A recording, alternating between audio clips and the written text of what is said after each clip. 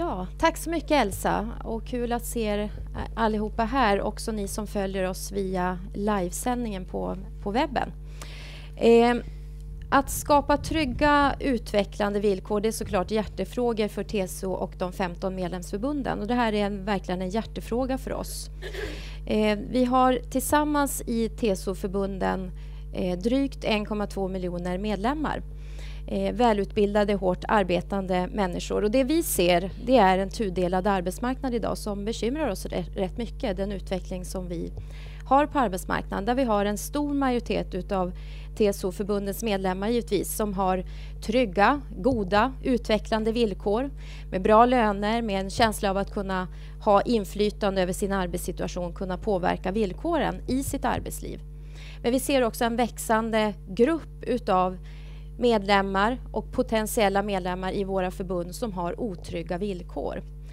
Eh, jag har själv också personligen träffat Laszlo Andor som är EU-kommissionens eh, eller arbetsmarknadskommissionär som också har, delar den oro som vi har i TCO, nämligen att vi inte har något skydd för ett missbruk utav de här upprepade tillfälliga anställningarna.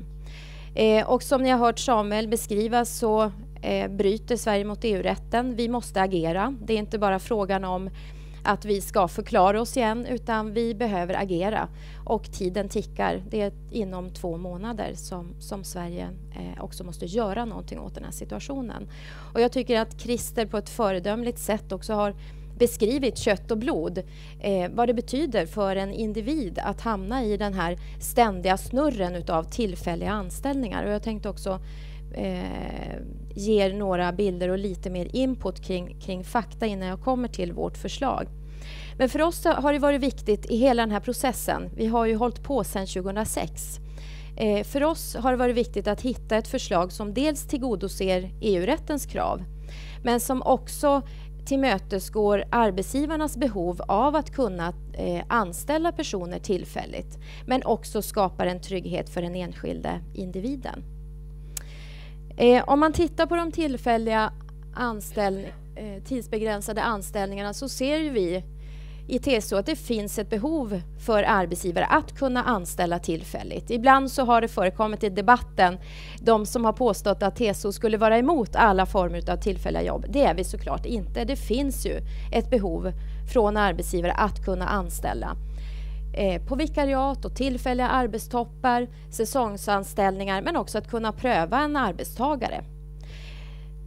Ofta kan man säga att det här är en väldigt bra väg in på arbetsmarknaden. Många startar ju faktiskt sitt arbetsliv genom just att komma in på ett vikariat eller få en provanställning.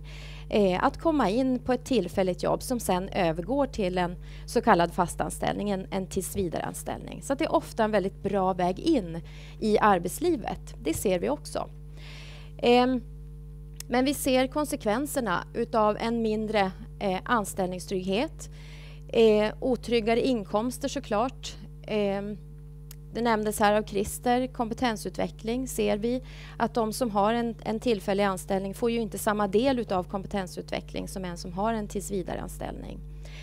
Eh, stressen är, tycker jag, en oroväckande signal där vi har tidigare kunnat se att de som har tillfälliga anställningar de har förr haft både låg, eh, låga krav men också låg kontroll eh, i sin anställning. Det som har hänt, och det ser vi framförallt när det gäller unga kvinnor i det här fallet, det är att eh, kontrollen är fortsatt låg. Alltså inflytandet, möjligheten att kunna påverka, styra, är fortfarande låg. Att kunna eh, så att säga, ha inflytande till exempel över arbetstiderna. När kommer jag? När går jag? Och hur ska jag få ihop livet och livspusslet och allt det där.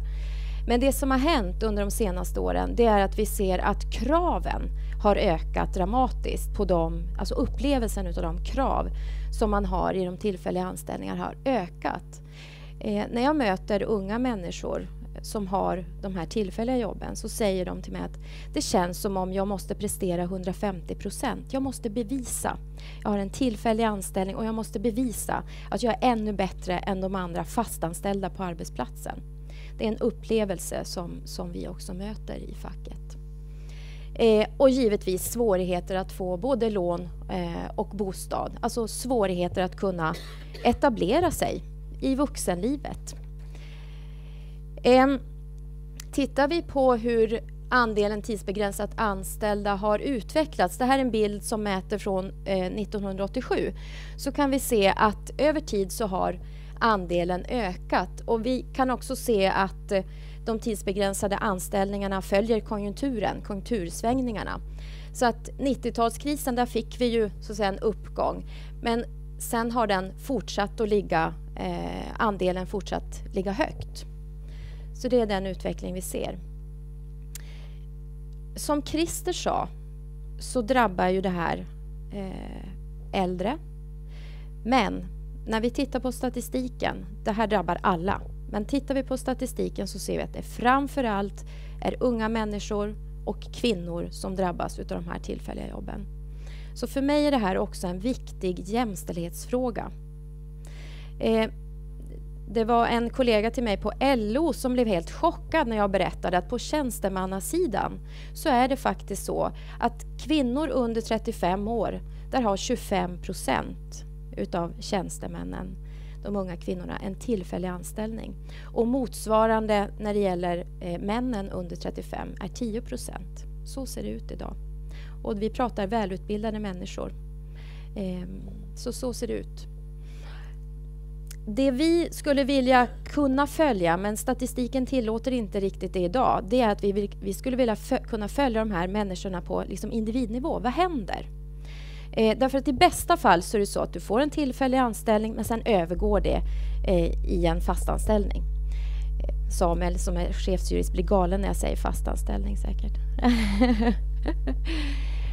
men problemet är ju om man fastnar i de här upprepade återkommande eh, tillfälliga jobben och man inte lyckas få en fast förankring. Och det är klart att jag kan känna en oro över om man efter åtta år inte har lyckats få den här fasta förankringen, när får man det då? Så vi för också samtal bland annat med SCB och se, skulle vi, kan vi följa de här personerna på individnivå för att kunna veta mer om vad som faktiskt händer med de här personerna. Um, den fackliga strategin den handlar ju om att försöka begränsa missbruket. Både genom lagstiftning eh, men också via olika typer av eh, kollektivavtal. Och det finns ju avtal som försöker att reglera detta. Eh, det handlar om att ehm, eh, försöka också titta på, alltså försöka minska konsekvenserna via till exempel arbetslöshetsförsäkringen är ett sånt. Vi har ett förslag i TCO som handlar om att försöka se till att fler kan omfattas av arbetslöshetsförsäkringen. Det är också den typen av krav och strategier som vi har för att öka tryggheten. Eh, men att också titta då på de kollektivavtalade förmånerna. Det kan handla om kompetensutveckling som du nämner. Det handlar om att driva kravet på att också de som har tillfälliga jobb ska omfattas av till exempel omställningsavtalet. Så att i förhandlingarna som unionen har eh, med sin, sin arbetsgivare så, så drivs det kravet, för att ta ett sådant exempel. Eh, jag kan nämna andra saker också. Vi har förhandlat fram eh, bolåneavtal, eh, ett ramavtal via TCO där det finns andra ingredienser också, till exempel ett medlemslån som kan omfatta också de som har tillfälliga jobb, vilket är en, en faktiskt unik möjlighet. Så att vi försöker på många olika sätt att skapa en, en större trygghet också för de som har de här tillfälliga jobben. Eh, några förbund har, eh, till exempel Vision, har en egen ombudsman för personer med ofasta jobb. Eh, karriärrådgivning, eh, lönerådgivning. Jag tycker att Christer satte fingret på just det här att många som lever i den här situationen med de tillfälliga jobben, de är kanske de som är mest sårbara och just när du är mellan jobb så har ju facket en viktig roll i att försöka stärka dem och försöka eh, underlätta den situation som de, de eh, hamnar i. Så vi jobbar också mycket i våra 15 förbund med att, att ge ett gott stöd. Eh, för er som följer via livesändning på webben och kanske är i ett läge att söka sommarjobb så har vi också eh, TSOs sommarjobbsexpert som faktiskt går att ringa till även nu. Här ser ni numret 020 130 11 12. Så gör gärna det om ni har frågor och kommentarer också på det här seminariet. gärna. Eh, ja.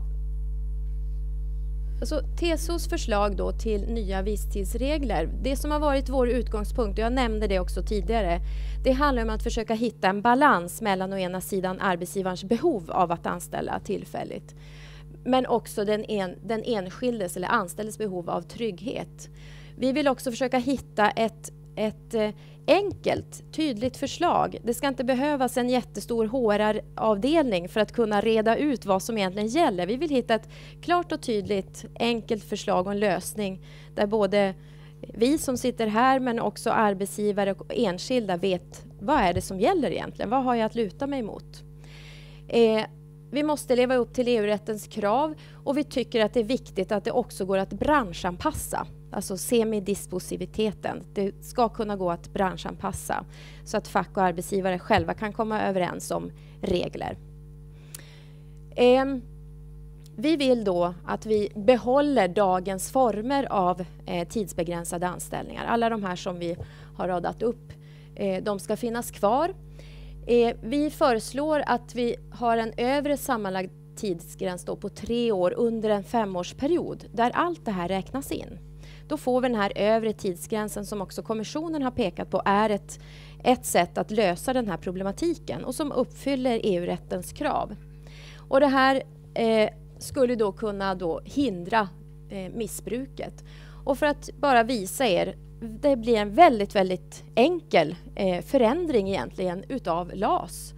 Där vi eh, lägger in denna liksom, övergripande eller vad säger man, sammanhållande tidsgräns helt enkelt. Så det är väldigt enkelt att, att lösa den här problematiken. Och eh, det är ett sätt som vi kan se till att skapa tryggare och bättre villkor också för de som har de här tillfälliga jobben. Jag stannar där, Elsa. Ja, mm. tack Eva.